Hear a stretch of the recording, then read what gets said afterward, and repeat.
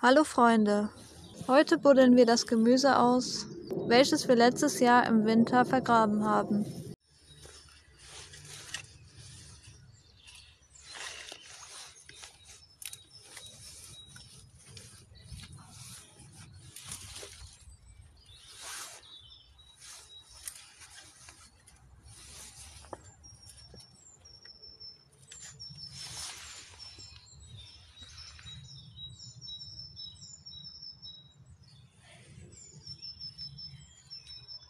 Die Topinambur ist auf jeden Fall noch schön frisch.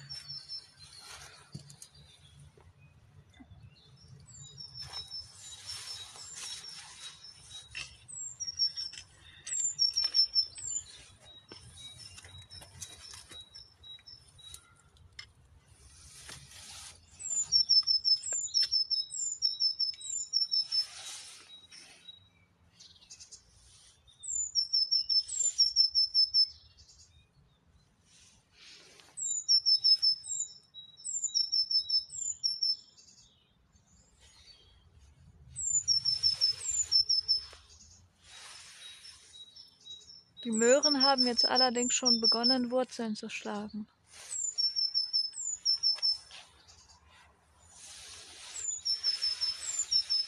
Wären aber auch noch gut essbar.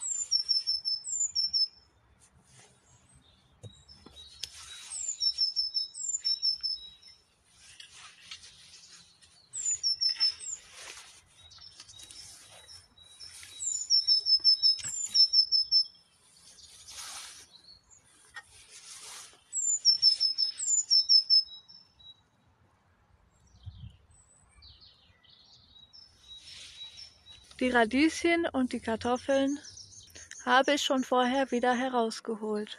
Allerdings sind Radieschen nicht dazu geeignet, jedenfalls bei mir nicht, sie unter der Erde zu lagern. Und hier sehen wir noch einmal die Möhren. Ich hoffe, euch hat das Video gefallen. Ich freue mich natürlich auch über jeden Like und jeden Kommentar.